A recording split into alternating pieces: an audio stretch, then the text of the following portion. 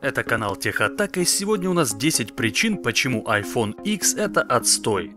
Те, кто давно пользуются яблочными гаджетами, даже не замечают, что их, мягко говоря, дурят. Американская компания с логотипом надкусанного яблока почему-то решила, что она самая лучшая в мире, и поэтому за ее телефоны нужно платить баснословные деньги.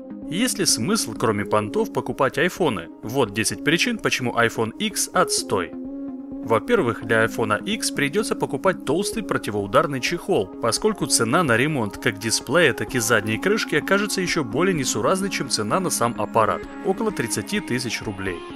Во-вторых, вас как владельца будет раздражать дизайнерский вырез на дисплее, который не умеет толково использовать стандартные приложения, оставляя вместо этого отрезанный кусок картинки. В-третьих, в iPhone X, ставший привычным многим датчик отпечатка пальцев, заменили системой распознавания лица Face ID, которая корректно работает лишь при определенных условиях. Если такие условия отсутствуют, например, система не узнает владельца или попросту не поддерживается приложением, пользователю придется вручную вводить пароль. Если речь идет о банковских приложениях, это может быть еще и опасно. Пятая причина не покупать iPhone X – это отсутствие стандартного аудиоразъема на 3,5 мм. Пользователь такого смартфона обречен на поиски и покупку новых наушников или покупку переходников по 800 рублей за штуку. Последние, в свою очередь, будут ломаться и теряться. Самые дешевые наушники с разъемом Lightning стоят 2400 рублей.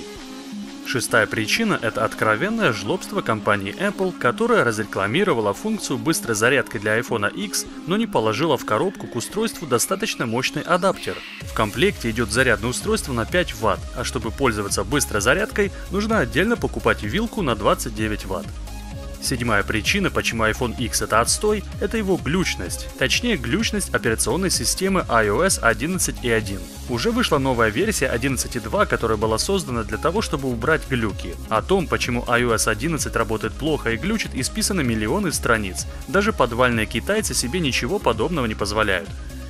Восьмая, а также девятая причина – раздражающая пользователя манера iPhone X требовать подключения к Wi-Fi для обновлений даже при наличии скоростного мобильного интернета, а также общее отсутствие технологических новинок. Apple просто застряла в прошлом, сосредоточившись на рекламе и маркетинге. Наконец, десятая, но не последняя по значимости причина – отсутствие второй сим-карты. И это в то время, когда многие пользователи с удовольствием и третью бы в свой аппарат воткнули, чтобы пользоваться преимуществами тарифов разных провайдеров. Бонусная одиннадцатая причина – это цена. По нашему мнению, iPhone X должен стоить 500-600 долларов, не больше, а так он стоит 1000. Не стоит он этих денег. На сегодня у нас все, друзья. Пожалуйста, подписывайтесь на Техатаку.